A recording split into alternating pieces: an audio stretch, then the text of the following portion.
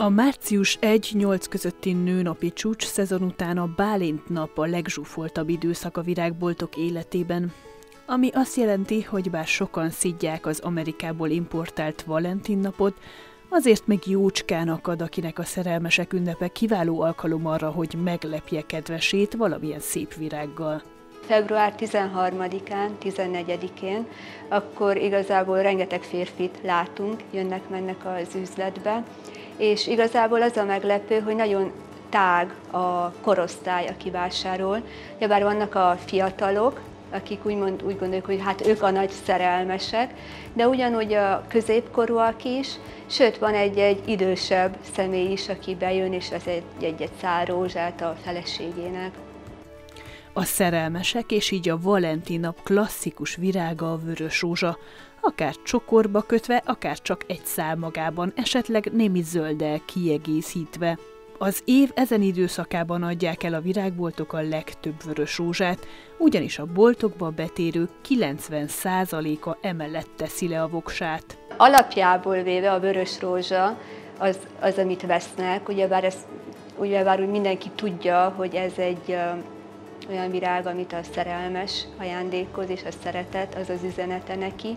Úgyhogy a, a vörös rózsa az az alap ilyenkor. Akkor van eltérés, hogyha a hölgynek van egy kedvenc virága, és a férfi tudja, hogy melyik a kedvenc virága, és akkor Valentin napkor is igyekszik arra, hogy a kedvenc virágát ajándékozza neki. A vörös rózsa mellett a fehér is igen népszerű, a dobogó második fokán pedig a tulipánál. Ezeket választják Bálint napra leggyakrabban a férfiak, aztán elvétve vesznek még mondjuk fréziát, az idősebbek meg liliomot. De szerelmesek napjára mindenképpen vágott virág dukál, és nem cserepes. Hogy egy szálvörös rózsa vagy grandiózus csokorköltemény, az sem mindegy. Az utóbbi években inkább arra fele haladunk, hogy minél egyszerűbb legyen. Tehát, hogy akár egy szál, akár több szál összefogva, és átkötve egy szép vörös szallaggal. Hát, hogy ez, ez a trend, ami fele haladunk. Ugye bár régen voltak az ilyen díszesebb csokrok zölddel, meg csomagolással, most is vannak, akik így szeretik, viszont egyre többen vannak, akik az egyszerűségre mennek, az eleganciára.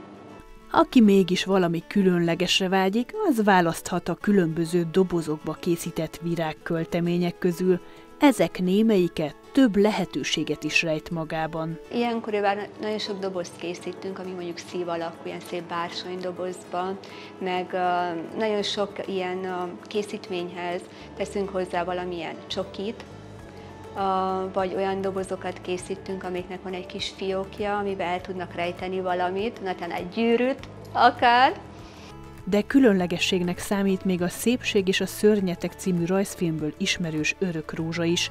A búra alatt rejlő egy szál virágot gyors fagyasztás vagy különböző kémiai szerek segítségével teszik igazán időtállóvá.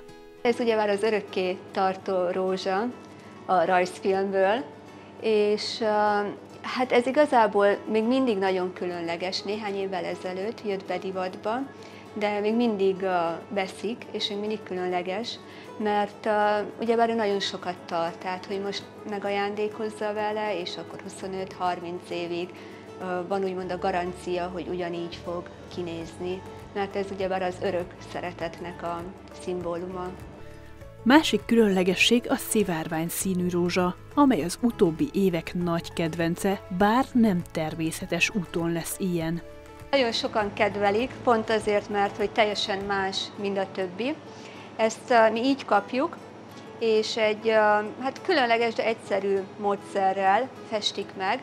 Amitán levágták a rózsát, utána a szárát uh, bevágják, így négybe, és a négy részét különböző színű tintába teszik be, kék, zöld, sárga, meg piros, és akkor ahogy szívja fel a festéket, akkor így nagyon szépen így a, megszínezi, megkeverednek a színek, és akkor így, így különleges lesz. És igazából nincs két olyan szál, amelyik teljesen egyforma lenne.